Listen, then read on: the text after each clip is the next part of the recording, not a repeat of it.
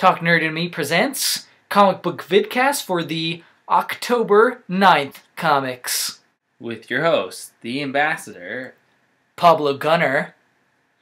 and uh, we have our sponsors: Kaboom Test Labs, Age of Comics, and uh, Twin Sons. And if you want to know more about them, go ahead and click on the links and the images of them on our page. Mm-hmm. Yes, uh, we are Talk Nerd to Me. We review comics. Uh, on this uh, vidcast, as we call it, we cover our cover of the week, our panel of the week, and our spread of the week. Now, panel, smaller, usually doesn't take up the whole page. You know, might take up a good percentage, but it's usually the, the smaller ones. Yeah. Spread could be two pages, could be three pages, could be four pages if they manage it. We have seen that done before. Yeah. Yeah, Uh, ask Forever Evil number one about four page. Superman Unchained. Four page flip out. Yep. Okay? So, and then our back and bag of the week, which is our best book of the week. You know, sometimes we agree, sometimes we don't. Yeah. So, we'll see how things go this week. All right? Um, now, me, my cover of the week was Superman Wonder Woman number one. Oh, mine as well. Well, look at that. Fancy that, huh? Now, you can imagine why we have the same cover of the week.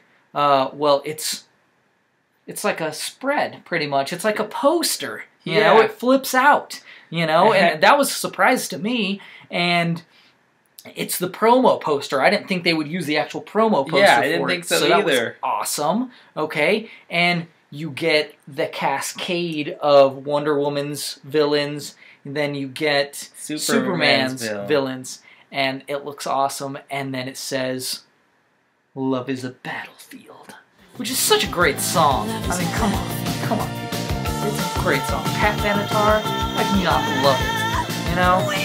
So that was our cover of the week. Yeah. Now, uh, I believe we might have the same panel of the week as well, which is from Infinity Part 4 of 6. Yeah, this is a great panel. I love it. Throw, Thor throws Which his panel hat. is it? It's the one on the right, On the top? on the top right. It's the big one, and pretty much it has through Thor through his hammer, and it's coming back, and it goes right through the builder, and so you got the guts coming out, and then when you're looking at the hammer, it's still kind of in motion, and Thor's catching it, and it's putting him back a little bit because this hammer just went through space and came back. Of course, it's going to be going really fast. So, can you say epic? Because I can. That was freaking sick. Yeah, it came Yeah. out of space, you know. So, and you can like like you said, you you can tell that like it just hit his hand and it's like taking his arm back.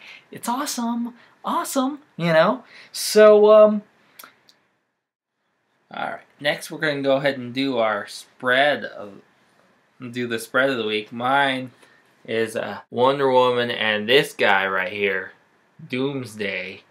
And you look at that, and you have Tony S. Daniel spoiler alert. doing Doomsday, and that's just terrifying.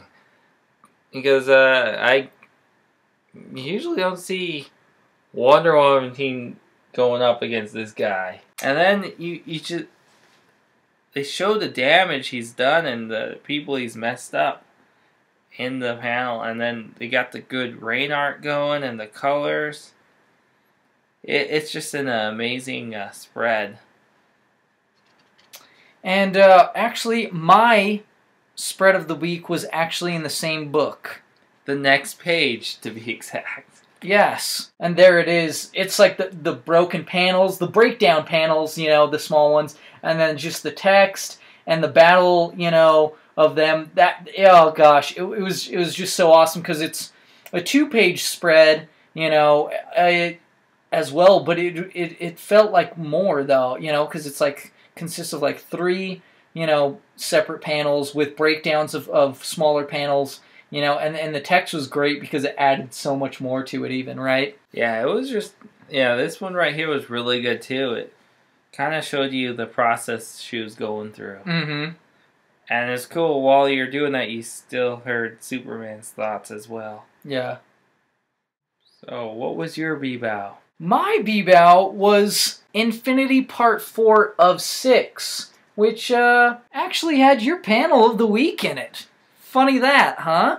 Yeah, it had a good panel, but obviously the better spreads were in my B-bow. Superman and Wonder Woman. So why was Infinity yours? Well, you know, the art was part of it. I mean, obviously you know that because you saw and chose your panel of the week from it, you know? I mean, that's part of it.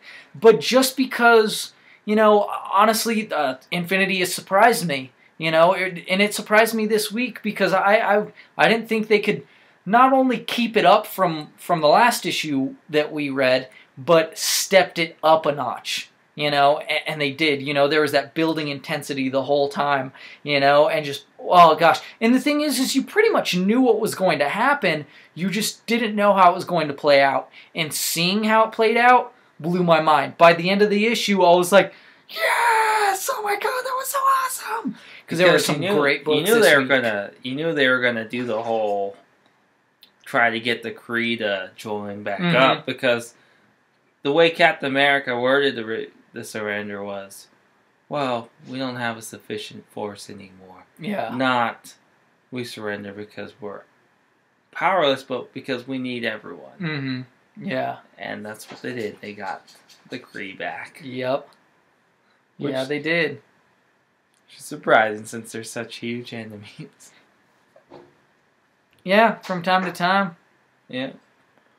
But, you know, speaking of great art, Superman Wonder Woman had great art. It had your spread and my spread in it as well. It was two different pages, too. And uh, what made this great was, of course, you got Tony S. Daniel.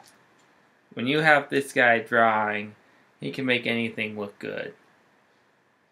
And then on top of that, you have Charles Soule doing what he does best with writing. And he does this great su- Superman and Wonder Woman. He kind of shows why they're a conflicting couple at the same time. Because it's kind of like while they're good together, they're kind of each other's yin and yang as well. Because they're completely, the way they do their identities are completely different. Clark is trying to stay hidden, while Wonder Woman is kind of pretty much blunt and open about who she is. And then when it comes to fighting styles, Superman's all about strength, while Wonder Woman's all about fighting skills and strategy. Hmm. And of course, you can't go wrong with having an unknown deity attacking with Doomsday. Yeah. That really brought up the level, and the fact that they really didn't show you he was coming at all. He just showed up Hmm. randomly. Yet it made sense when he did show up. Yeah, I mean, I won't deny it was surprise, but uh, you know, just because a book is a surprise doesn't always mean that it's the better back and bag of the week. All right, well, why don't you decide, folks? Leave a comment. Tell us what you thought of our back and bags, of our picks for the week. You know, for cover, panel, spread. Uh, obviously, uh, the ones that we agreed on. You don't really need to pick or choose, but if you want, you can always submit your picks to us by, uh, you know, you could email us at talknerdy the show uh, at yahoo.com, or you know, you could uh, if you could tweet us, you know, at TNTM the show, or go to our Facebook Or and just comment us, on the YouTube. which is TNTM the show as well. Yeah, comment on the YouTube. Tell us tell us what you think. Uh, that's it for us here for this week for the comic book vidcast. Make sure you keep those eyes hungry for Comics.